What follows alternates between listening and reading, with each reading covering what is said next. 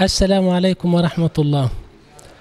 اسمي حسن الخليفة عثمان من مصر كاتب وباحث ومستشار مؤسس مشروع نبلاء والمشرف العام عليه.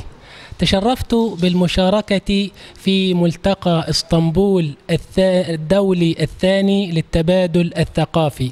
بمشاركة بحثية علمية موسومة بعنوان التبادل الثقافي الأوروبي التركي العربي رؤية واقعية.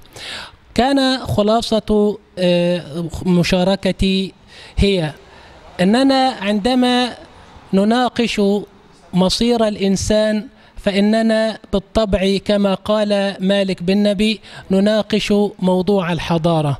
وعندما نناقش موضوع الحضارة فإن جوهر الحضارة هو الثقافة.